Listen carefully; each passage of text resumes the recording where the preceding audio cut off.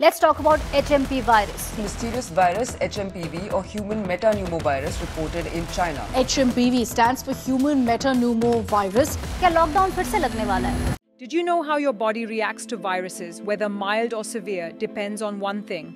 It's called IL 6, an inflammatory marker that can trigger an inflammation storm.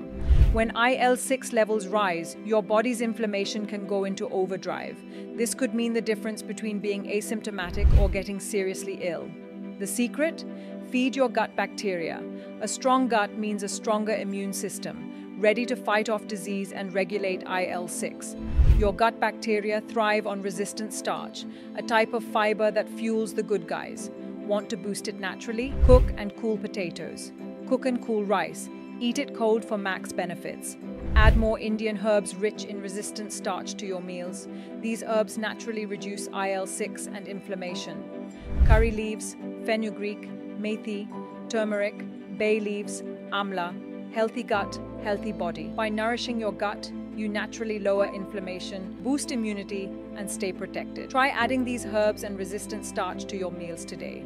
Winter is here. Make an anti inflammatory tea using the herbs I just mentioned to stay healthy and protected.